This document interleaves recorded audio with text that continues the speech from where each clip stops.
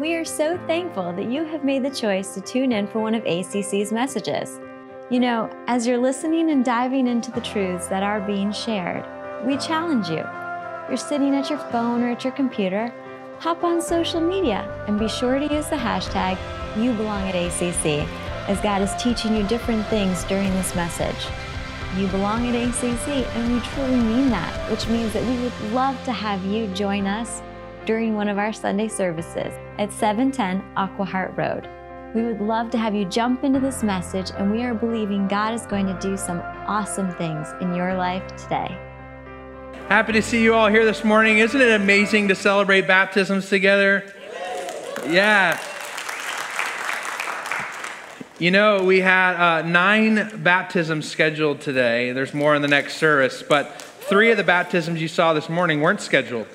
So uh, you, you do the math, by the end of the day, we're going to have baptized more people in the first half of this year than we did the entirety of last year. How amazing is that?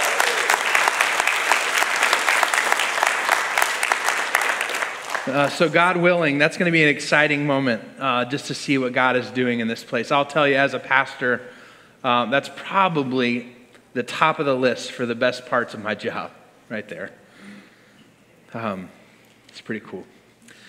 Hey, we haven't had a chance to meet yet. My name is Matt. I serve here at ACC as the lead pastor, and really glad that you're here. Hopefully, maybe after service, we can meet outside in the lobby or outside in the parking lot somewhere, bump fists or shake hands or side hug or something. Uh, I'm good with all those things. And hey, uh, any of you ever, uh, my generation, there was something we used to say to each other in high school. I don't know if we still say this. Maybe you guys can confirm, but we used to look at our friends and say, like, especially when they're acting kind of silly, we'd say, hey, don't be a tool. I never really understood what that phrase meant. Like, why would you look at someone else and say, hey, don't be a tool? Uh, why, why would you say that to someone? What does that even mean? But by the end of the message today, I think you'll understand what it means when you say to someone, don't be a tool. All right? So keep that in the back of your mind. We're going to come back to it.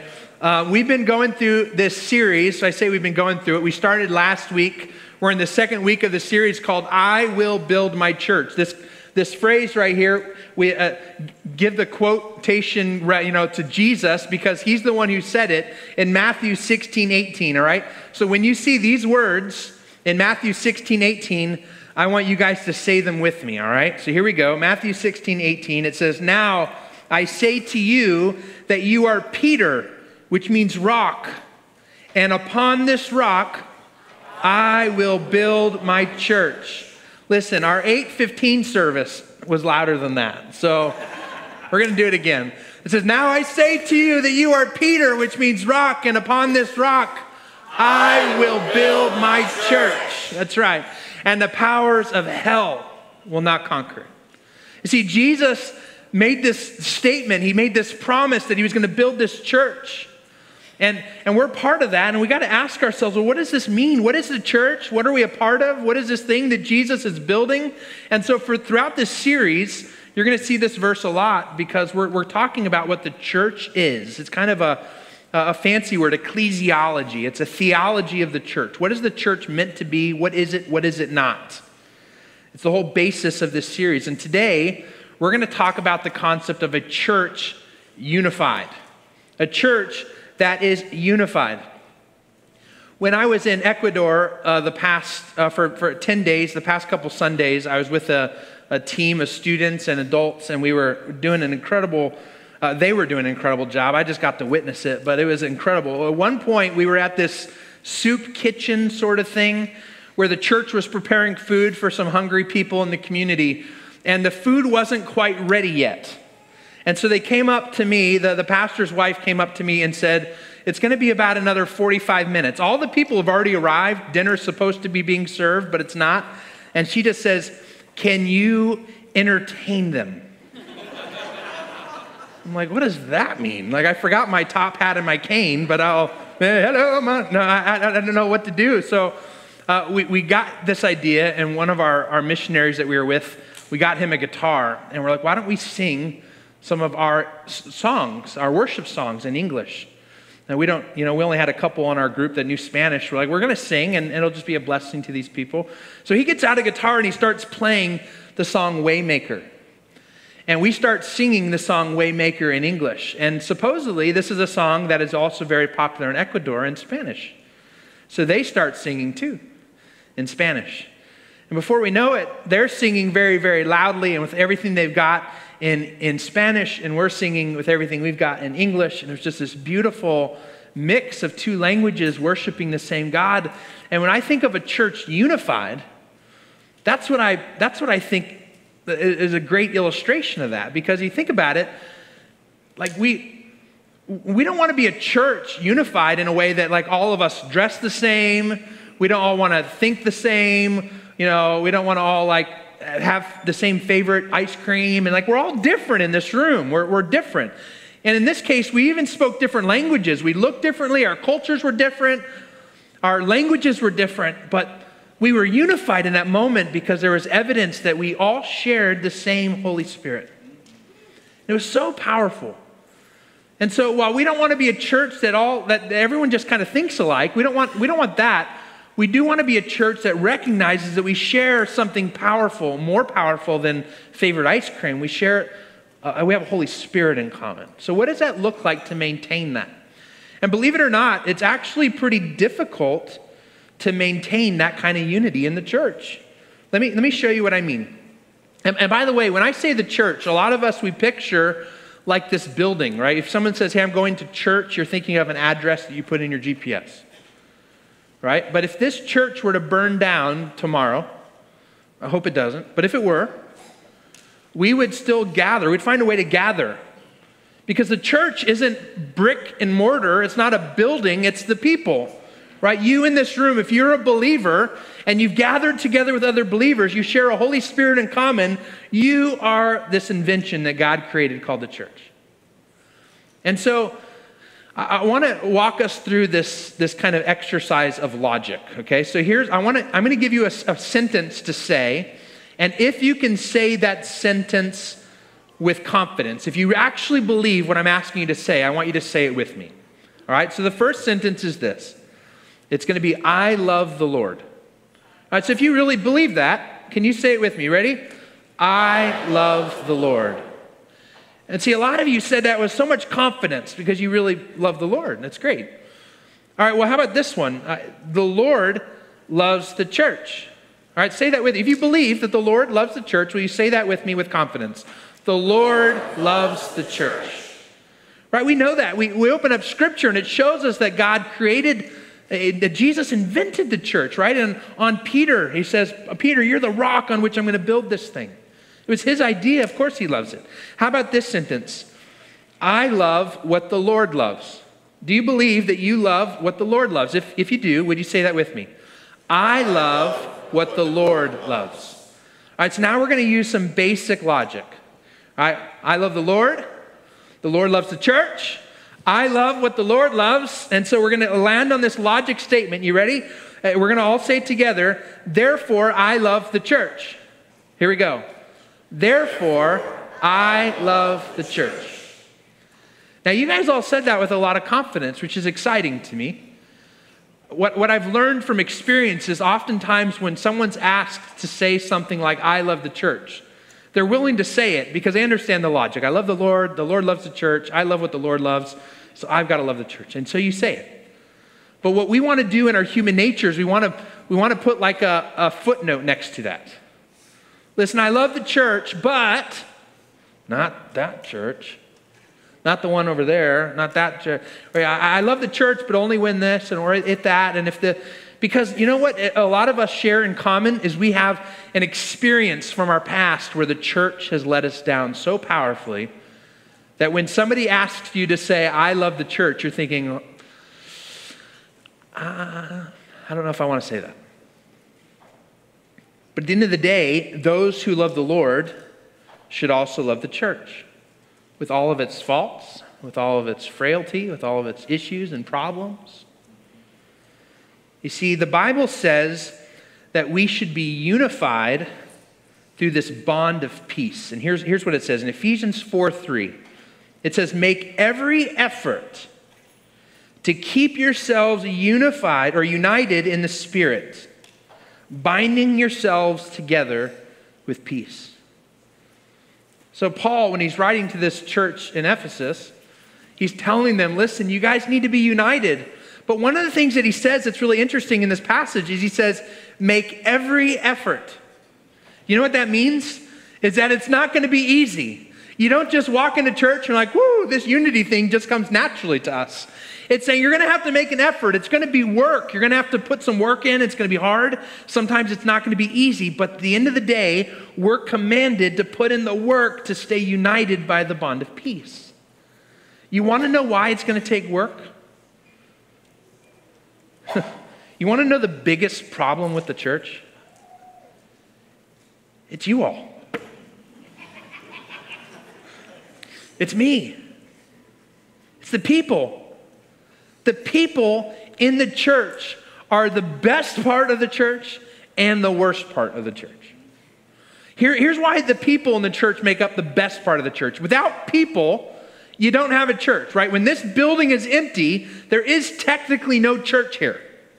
You are the church. So without people, there is no church. So the best part of the church is the people. But the worst part of the church is the people. All of us. We're messed up. We're broken.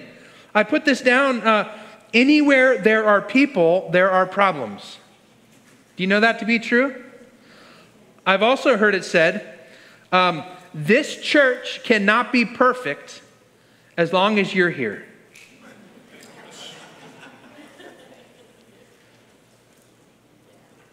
It's a, a sad truth I want to I share with you. I, I, when I was preparing this message, I didn't know if I wanted to be this vulnerable. But I've always had a really, I think, a, a gift.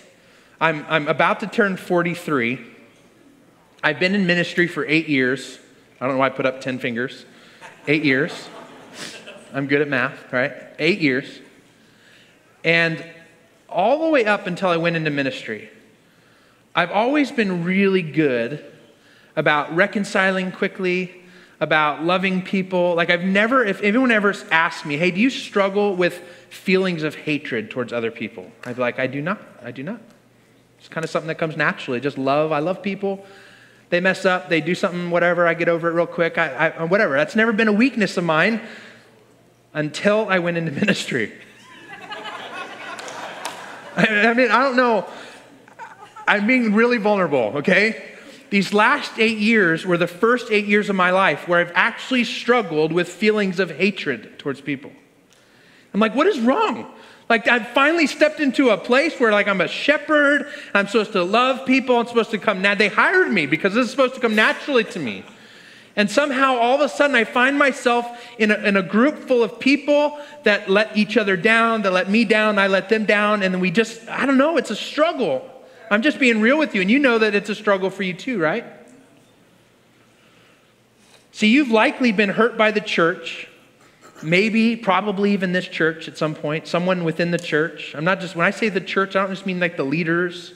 Maybe some other body, a brother or sister in Christ has let you down. You've been hurt by the church, which has caused you to want to pause when somebody asks you to say the phrase, I love the church. You're like, I love the church, as long as so and so is not here today.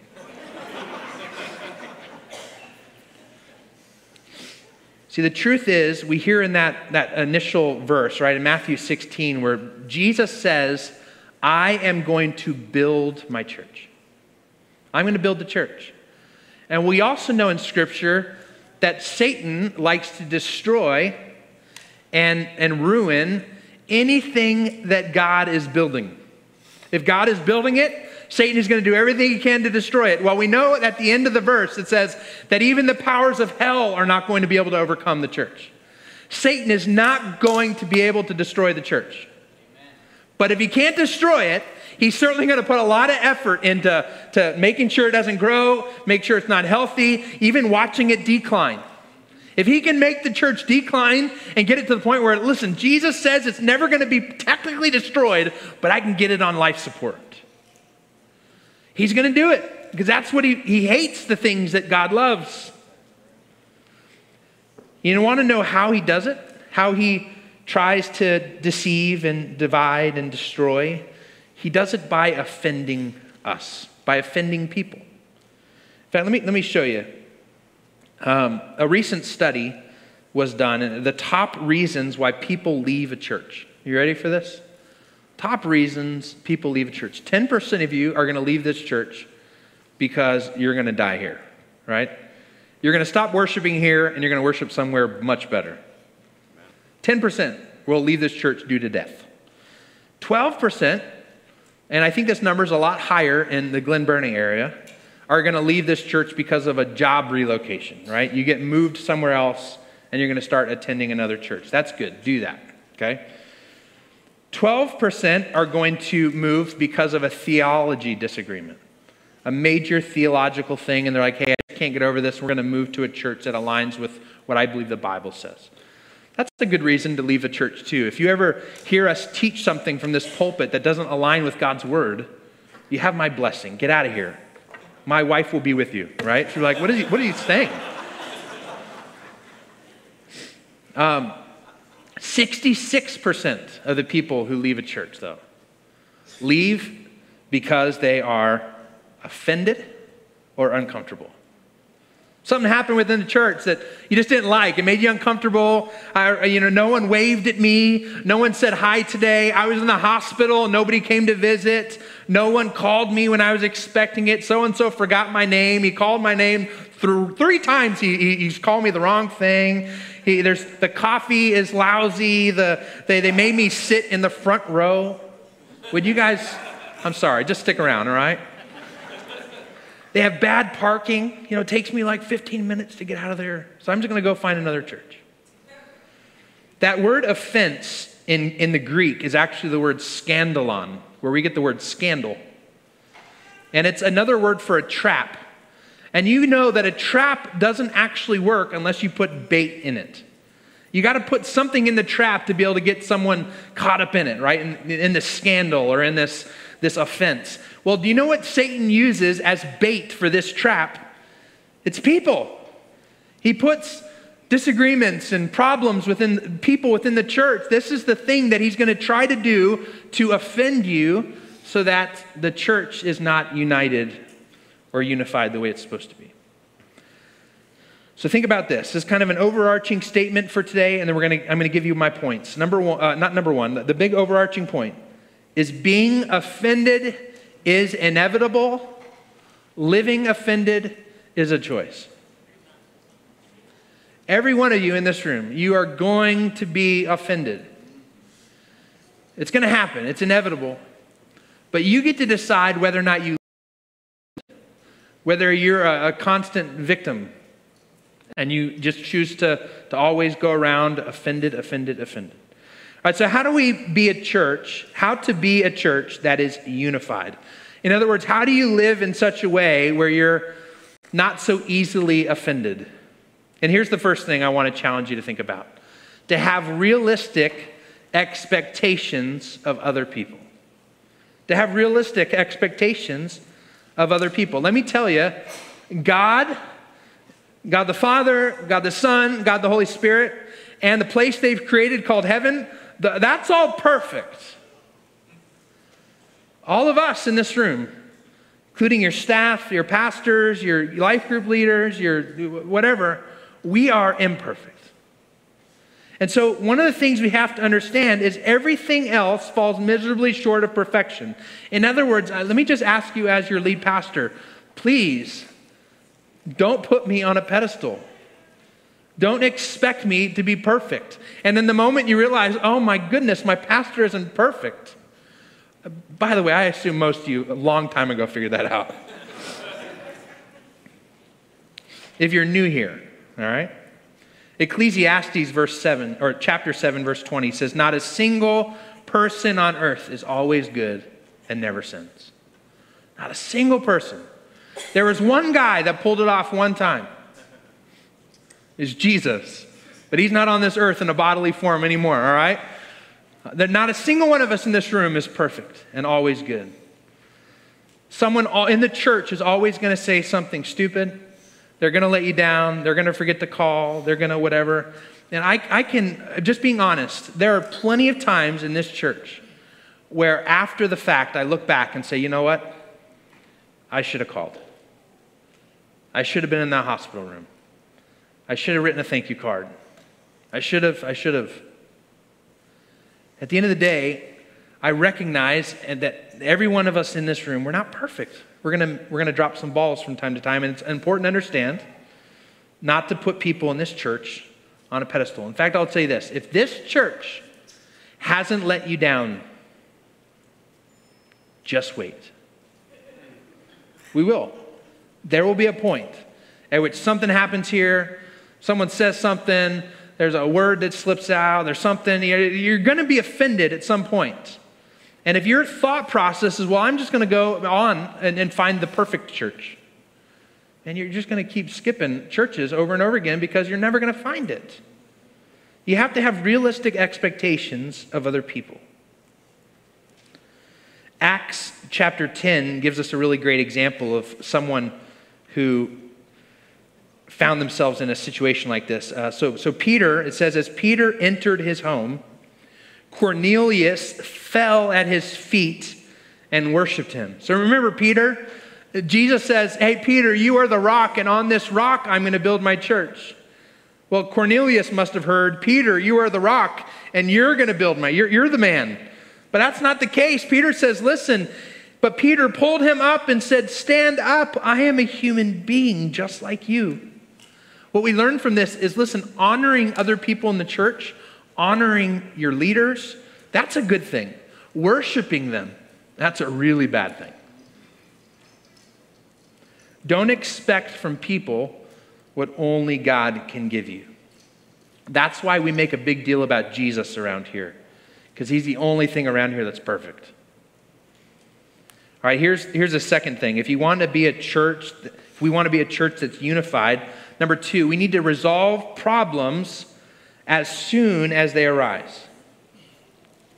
Notice I didn't say resolve problems if they arise. All right, let me say it again. Problems will arise in this church. Someone in this church sitting next to you is going to let you down. So when they arise, resolve them as, quick, as quickly as possible. You know what most people do instead of fixing a problem? They do two other things instead because our sin nature thinks these two other things are a little bit more fun. One, we blow up, or two, we stir up. And let me tell you what that looks like. And you can probably find yourself guilty of some of these. I certainly am. Uh, the blow up one, instead of solving the problem, we like to blow up and what, what I mean by that is it's when you, right, you, you're offended, uh, someone hurts you, and instead of dealing with it, you just let yourself explode with anger. And it, Proverbs, let me, let me ask you this. Have any of you ever said something that you regret, that you wish you could take back? You said something in anger? I think every hand should be up for that, right? We've all done that before. Um, it says in Proverbs 14, verse 17, it says, Short Tempered people do foolish things, and schemers are hated. You know I, I love about this verse? It reminds me in my own home, foolish things happen from time to time. For me, for my wife, for my kids. One of the things we're really careful about, I don't tell my kids, you are a fool.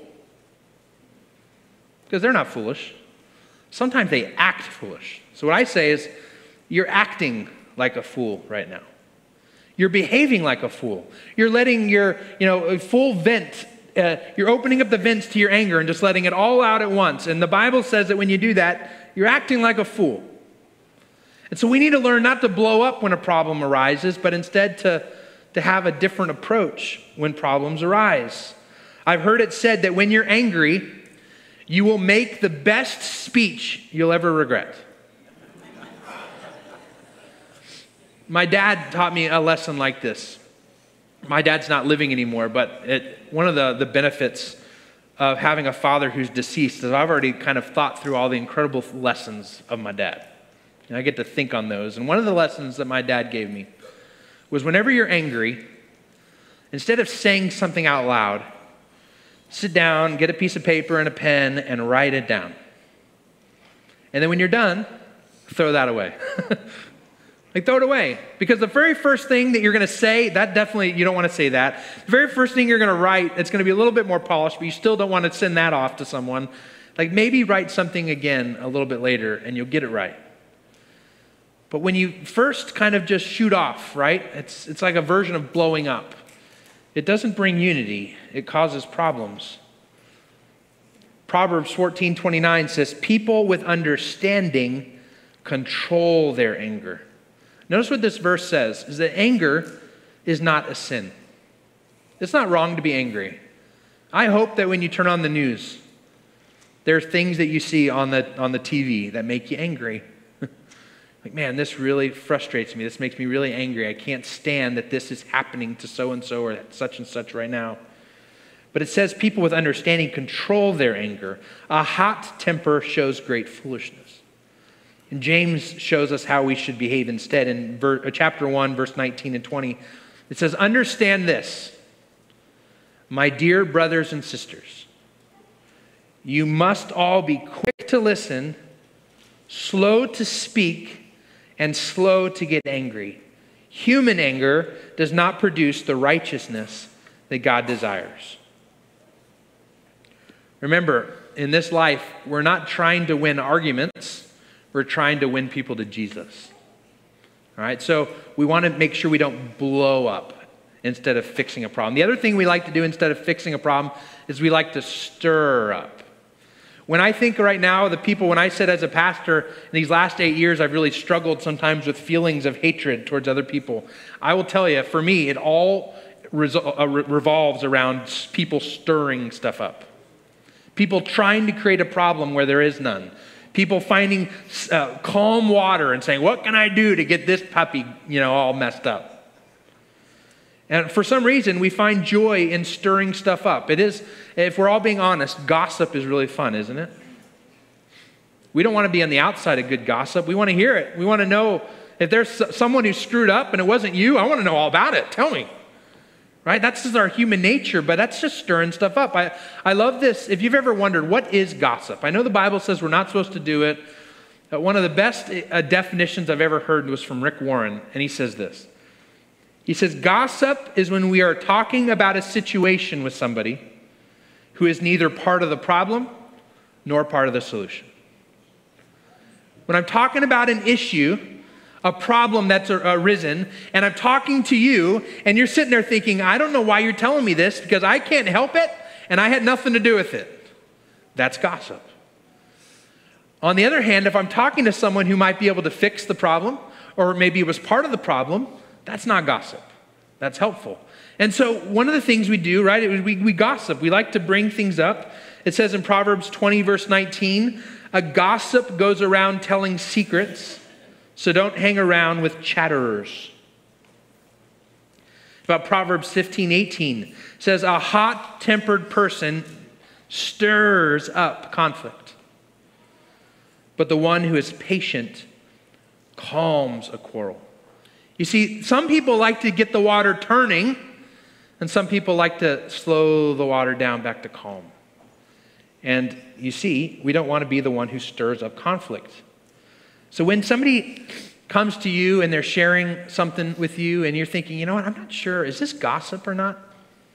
Should I be hearing this? Is this helpful? Ask yourself some questions. Like, hey, is what they're saying to me right now, is this helpful or harmful?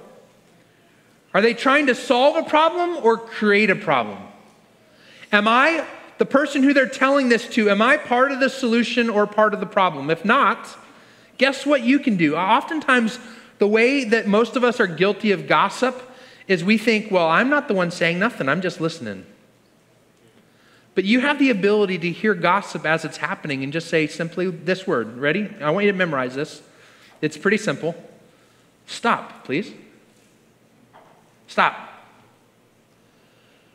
Hey, I don't feel like this information, I, I can do anything about it. I'm not part of the solution. And it doesn't sound like I'm part of the problem. So why don't you hold on, save your breath, and go talk to someone who can help you? Go talk to someone who can help fix this instead of stirring things up. The Bible says that we're called instead to resolve problems quickly. right? In Ephesians 4, verse 26 and 27, it says this really clearly. It says, Don't let and don't sin by letting anger control you. Don't let the sun go down while you are still angry, for anger gives a foothold to the devil. I want to understand this word foothold right here. If you go back to the original Greek, it's the word uh, topos. I don't know if I'm saying that right. Greek expert, come correct me, all right? T O P O S. Topos, topos. And what that word technically means is, is uh, it's another uh, word for room, like a room in a house. So it says, don't, don't go to bed angry because when you do, what you're actually doing is you're, it's like you're going into your house and you're making up the guest bedroom, you're putting out your nice towels, you're getting everything ready, you're vacuuming, and you're getting a, a guest room ready for Satan to hang out in your mind. That's what happens. You're giving a room to the devil when you don't take care of issues when they arise. You're just letting the, the Satan kind of stir in your mind.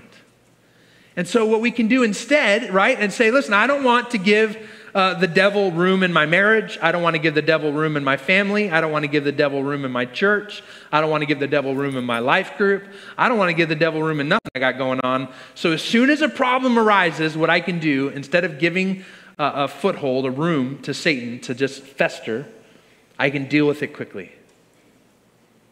You know, I found it's really hard sometimes in that I want to deal with a problem quickly, and the person on the receiving end, like, is ghosting me. You know what I'm talking about? Like, hey, I feel like there's a little bit of tension between us last time we were talking. I think I might have offended you in some way. Can we talk about it? Just nothing. Like, hey, I, I really care about our relationship. I want to restore whatever's broken. Can we, maybe let's meet face to face and just get, get through this? Especially worse when they respond back saying, I don't want to talk about it. Like, what, what do you do with that, right? Here's what you're responsible to do.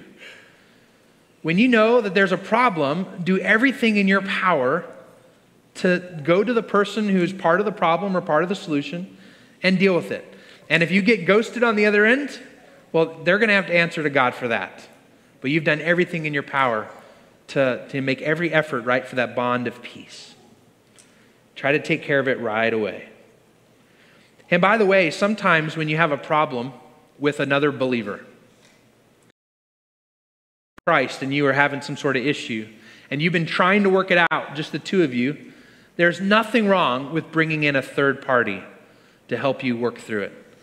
Sometimes we'll have people call the church and just say, hey, we're having this issue. Could a pastor just sit in and just mediate for us? We love doing that because we want to help you bring yourselves back together in a bond of peace. Here's the third thing, right? If, you want, if we want to be a church that's unified, you need to hope for the best in your church family. Hope for the best in your church family. Have you ever noticed that we often instead, we kind of just assume the worst in other people? I don't know why our sin nature likes to do that, but what if instead we just assumed Hey, here's a good example of this. I've noticed we often judge other people by their actions, but we judge ourselves by our intentions. You maybe I'll give you an example. Maybe you've had a conversation with someone before, and they've said something to you that was deeply offensive.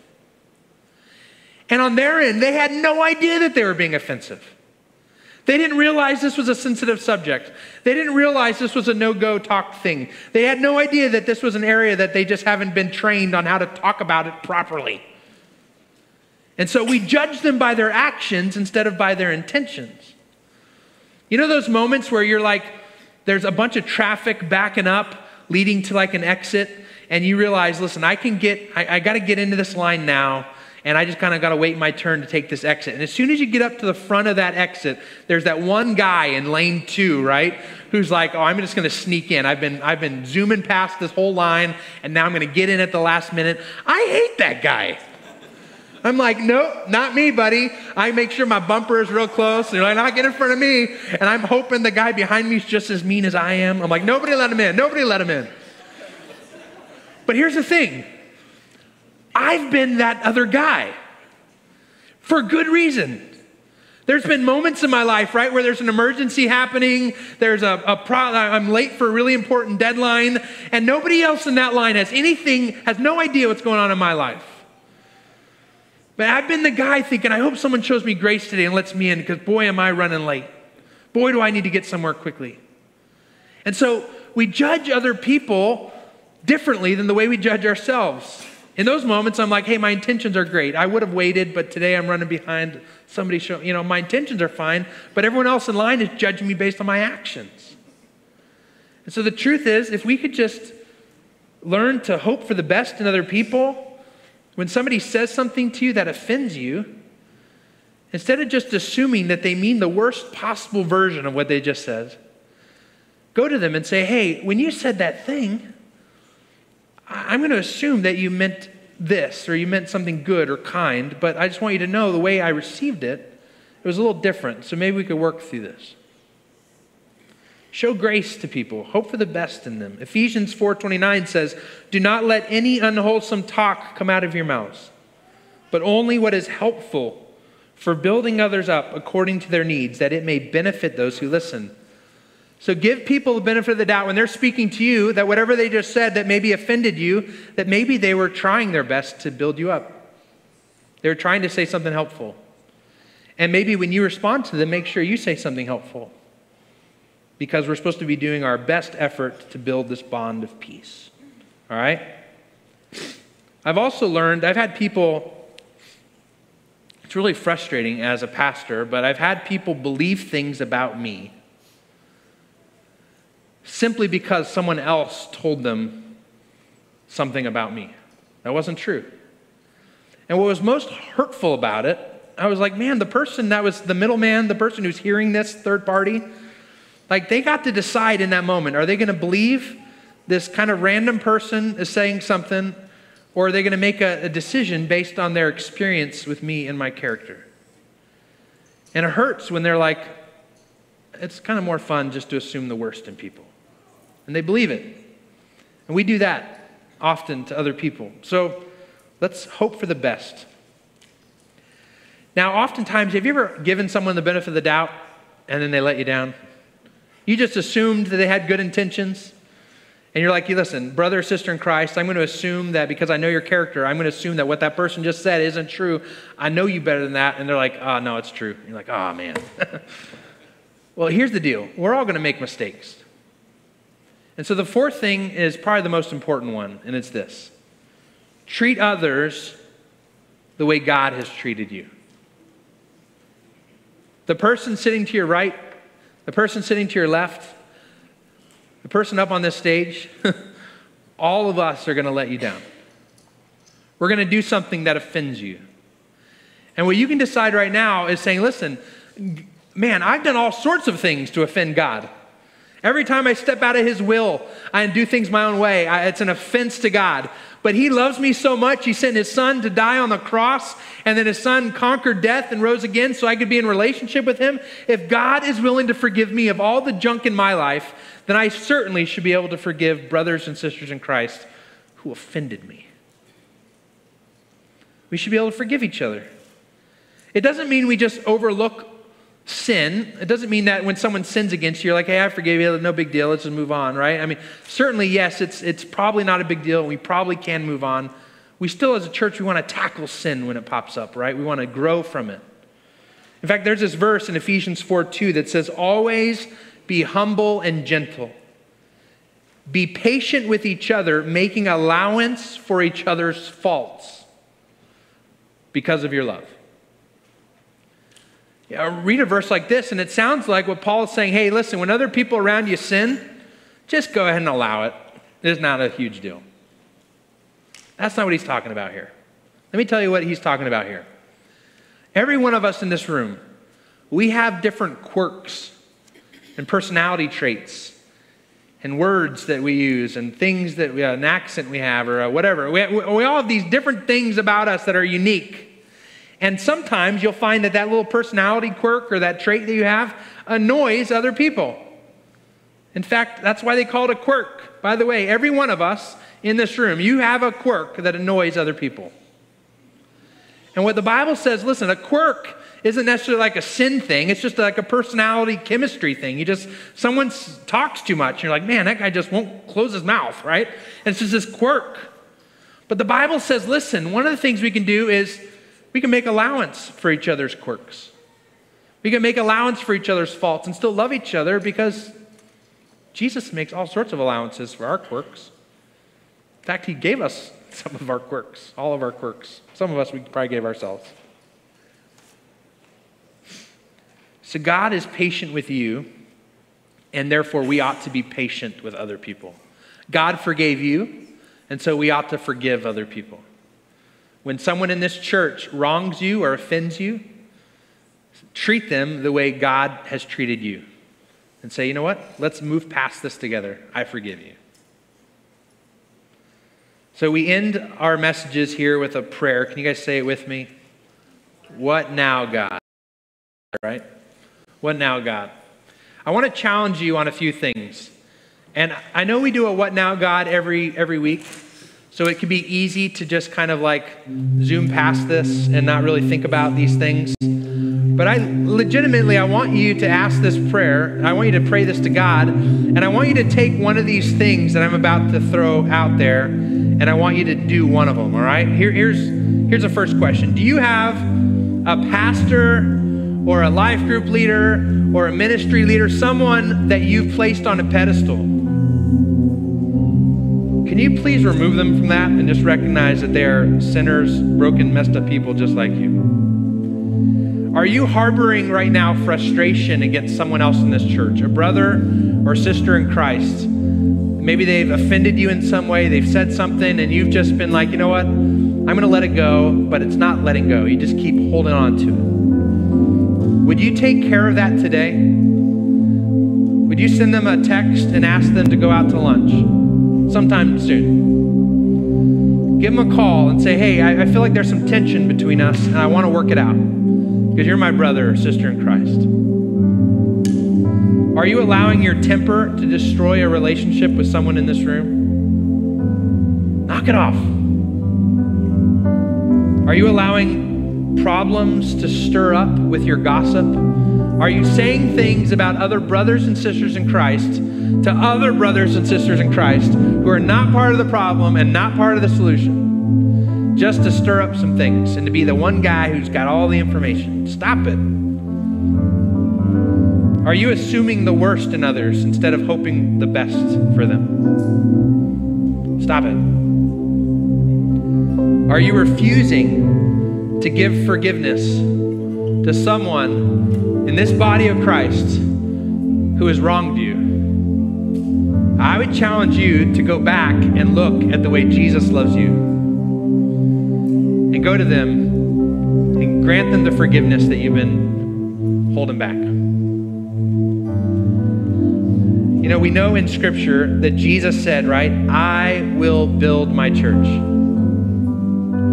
Nothing can stop it. We also know that Satan wants to do everything he can to try to stop it.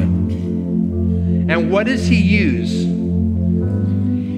He often uses people as the tools that he's going to try to use to slow down the growth of the church. So here's my final what now, God? You ready? Don't be a tool.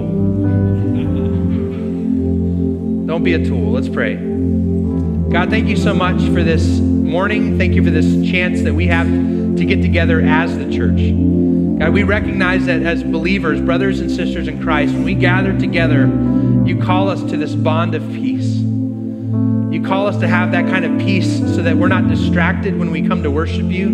We're not thinking about problems and issues within the church, but instead we gather together with one unified purpose, which is just to, to fulfill your great commission while we, while we worship you and glorify you. Father, we ask that you'd help us to do that. Help show each of us today what it is that we need to adjust in our life, conversations we need to have, how we can live in a way that's not so easily offended, so that we can be a church united and unified. We pray this in Jesus' name. Amen. Well, we are so thankful for the truth that was shared in this message today. Please know that we, as a church, are praying that what you have learned today, the truths that God has put deep into your heart, will manifest themselves and grow themselves into something amazing. And as always, you can experience that with other believers, other people who are walking this walk of faith at ACC on Sunday mornings. Please remember this you belong at ACC.